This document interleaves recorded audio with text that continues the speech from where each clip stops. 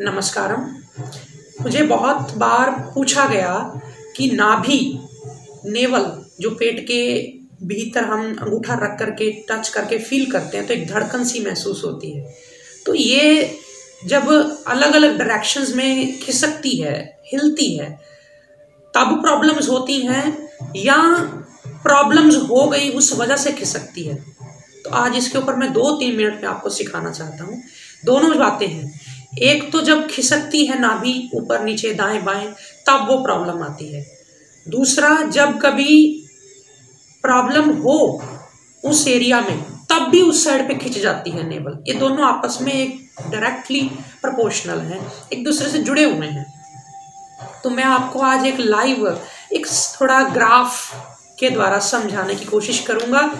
एक एग्जांपल दे करके। धीरे धीरे आने वाले समय में जब आप मेरे साथ बने रहेंगे, जुड़े रहेंगे, मैं आपको ऐसी बहुत सारी एग्जांपल्स देता ही रहूँगा।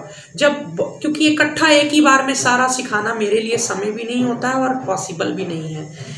तो जब कोई लाइव ऐसे एग्जांपल आती है तो कई बार खुद से अंदर से हमारे मन करता है, भाई, मैं ये चीज़ बता दूँ आपको। तो उससे फिर आपको एक, अपने माइंड में एक पिक्चर डिज़ाइन हो जाती है, एक स्केच बन जाता है प्रॉब्लम को डीपली समझने का। तो आज मैं आपको एक ग्राफ के माध्यम से समझाऊँगा कि ये प्रॉब्लम देखिए आप सामने और इसको फिर अपने हिसाब से कैसे ठीक किया जाएगा, उसकी बात करते हैं। तो ये देखिए आपके सामने एक ग्राफ सा बना हुआ है, एक स्केच सा बना हुआ है नाभि का।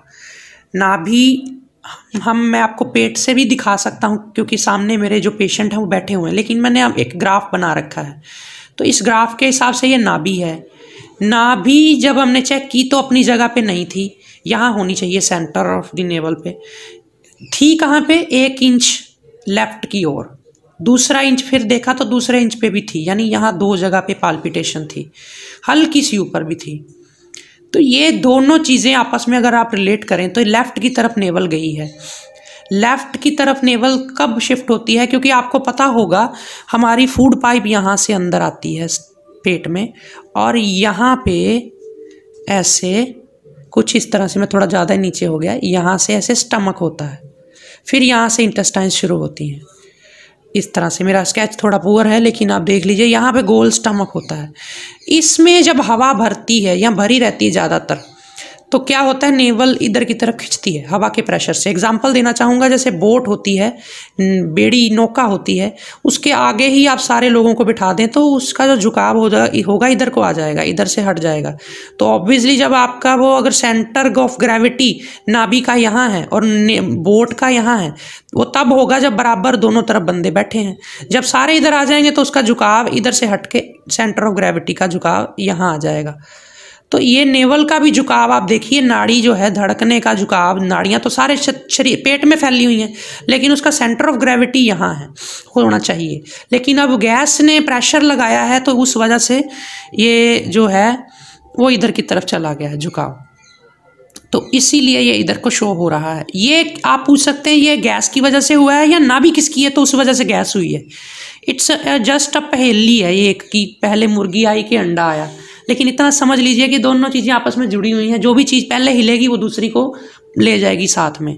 तो यहाँ से अगर हम करें तो एक तरीका है धरण को वापस लाना। वो टेम्पररी तौर पे जैसे नाभि निकालते हैं, उससे हो जाता है।